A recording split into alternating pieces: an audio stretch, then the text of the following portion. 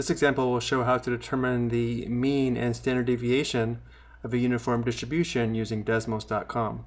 A heating and air conditioning service finds the amount of time a repairman needs to fix a furnace is uniformly distributed between 1.5 and 4 hours.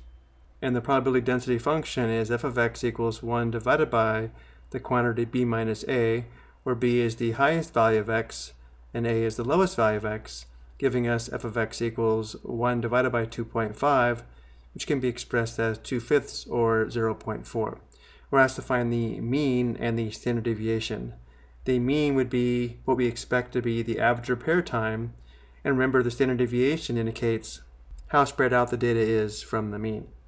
The mean and standard deviation are pretty straightforward to calculate using the formulas shown here, which I've also shown below, but let's verify how we can get these using Desmos.com.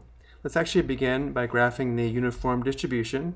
To do this, go to Desmos.com, click Graphing Calculator, open the Desmos keypad by clicking the Show Keypad button in the lower left-hand corner, click Functions, click the Distributions tab, click the Uniform Distribution, enter the min and max values for x, which in our case would be 1.5 comma 4.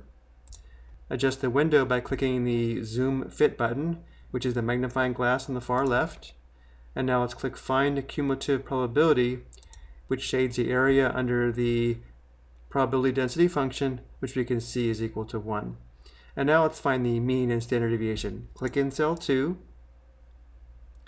click Functions, click Statistics, click Mean to find the mean, click Functions,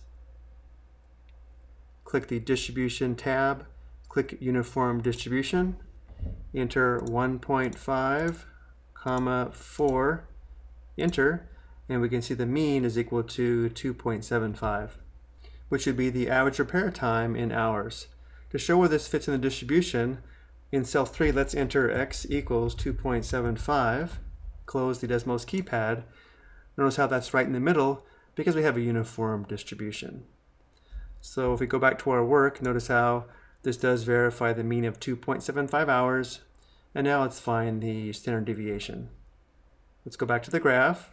Let's click in cell 4, click Show Desmos Keypad, click Functions, click Stats, click Standard Deviation, which is STDEV, Functions, Distributions, Uniform Distributions, 1.5 comma 4, Enter.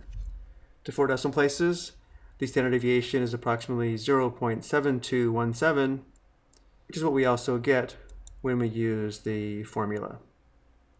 I hope you found this helpful.